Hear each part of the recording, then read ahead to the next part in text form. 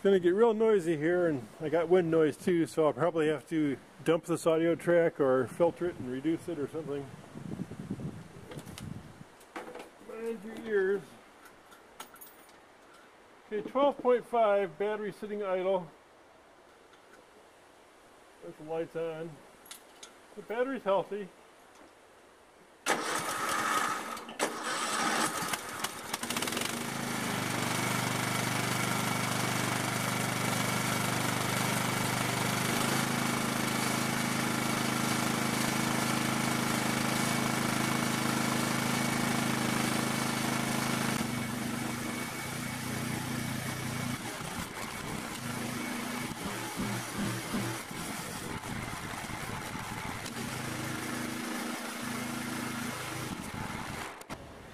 Well, with a decently charged battery, it's doing its job correctly.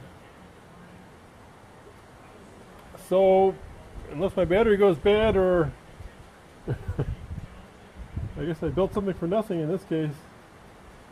So it's a good example because I know other people running without a battery get the 21 volts, and if you run with a bad battery, you get 21 volts. But yeah, my fix of the situation was to get a new battery. So I guess I'm just going to monitor voltage and probably not put that in until I need it, if ever.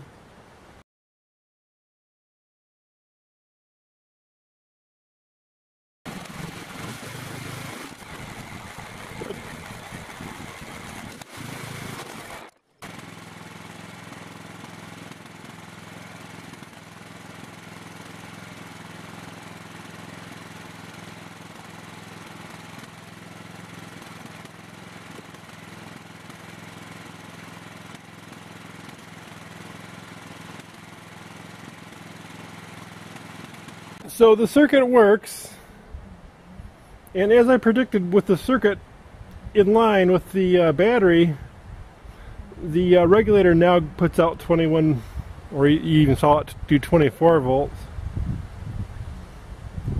Uh, something about it needs to have that direct load to the battery. If there's, uh, when I had the light bulb in the fuse socket for troubleshooting, I had the same problem. The voltage shot up. So it, it needs to see the battery directly. If it can't, it can't regulate, and I don't really understand that. It's not using a net. It's using the absolute voltage, but it isn't. I don't know. It needs the battery to be able to drain down or soak up a certain amount of current, I guess. I'd really like to see a circuit for this guy. Anyway, it all works the way it is. I did put a cap on the input, by the way. A smaller one, though. And, uh, the circuit can be called a capacitor. The uh, small cap in the circuit, the little 10, is actually multiplied by the beta of the transistor. It's called a capacitor multiplier circuit. Um, that kind of regulator. Another another name for that circuit. So it does work. It gets too hot though. This uh, transistor was getting above 200 degrees when I shut it down. I had all the lights on, but it needs a bigger heatsink. That's why I use such a heavy duty transistor. It needs every bit of that rating for uh, power. And the voltage doesn't hurt for uh, back EMF coming off of various devices in this unit here. Especially if, you, especially if you put a PTO of some sort on. And the circuit should be able to support a PTO. It built everything heavy. You can see by the gauge of the wire. But yeah, it needs more heatsink. Now that I got my voltmeter on the front pan on the gauge panel there, on the uh, instrument panel, I'm going to try without using this circuit and um, if I'm still seeing too much voltage like it goes up to 15 volts sometimes kind of at random. You know it's like a charging thing when you first turn it on but it happens other times too I don't really get it. So this unit is vastly overrated in terms of this uh, pass transistor uh, because I knew it was going to have to run in a, a very high temperature environment so let's say the environment that it's in is about 100 degrees. This can't run at 100 degrees and dissipate heat in a 100 degree environment. It's got to be considerably hotter to uh, get rid of its heat. And the way it turned out, this guy barely got warm, and all the heat went to the, all the work went to this regulator. This regulator just like turned off. Started putting out up to 25 volts here which also made my thermal budget budget bad because the drop between 21 to 13, 7.2, which is what I was counting on, you know, multiply that by a 10 amp draw, you have 70 watts. But now, 100, you know, 112 watts. And that's kind of getting overboard because I have to pretty much cut my ratings in half on this transistor because I want it to run in a 110, you know, well, roughly 210 degree environment. I want this to be able to tolerate running at that temperature. Um, so I pretty much cut the uh, ratings in half. So this circuit is pretty much as built in a redrawing of my uh, circuit. I used a 4007, any 4000 series will work for that diode. You could uh, use a less exotic transistor. This is an audio transistor. It is easy to get though if you look it up. It's not that expensive. It's uh, certainly you don't need the linearity of an audio transistor if you can find a. It's kind of hard to find trans transistors with the, that high of a rating though, 30 amp rating. Um, these caps should both be high temperature caps ideally. Mine aren't. This is more or less a prototype.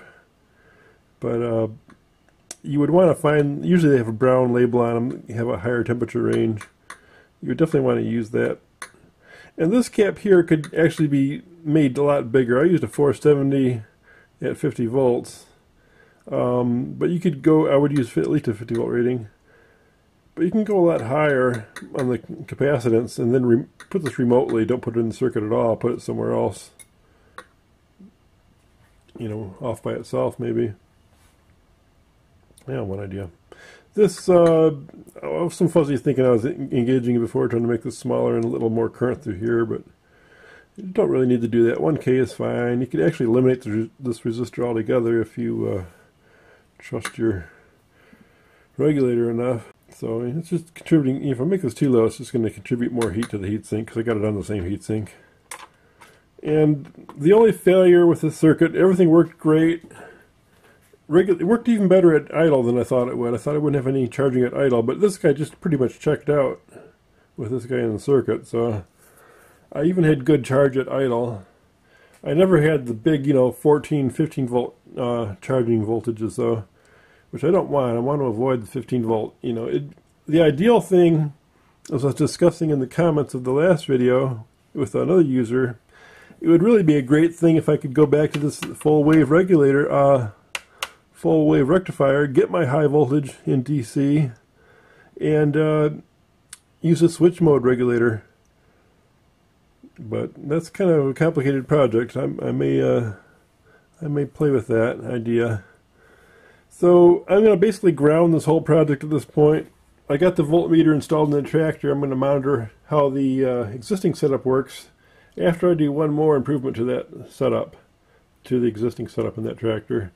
That'll be another video upcoming I take the cowl off the engine again and clean it out and uh, try to fix the way the regulator is mounted physically in that unit. It's a real problem, which I'll get more into. I did address it in an earlier video, but we'll go over that again and my fix, hopefully, to it.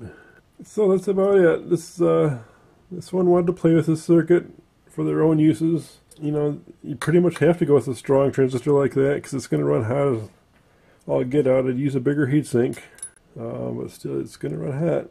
So yeah, switch mode would be the ultimate way to go on this. And I may start playing with that idea. So I'm going to let the status quo sit and stew for a little bit. I may be putting this back in the tractor, but we'll see. I'll probably have to put on a bigger heatsink if I do though.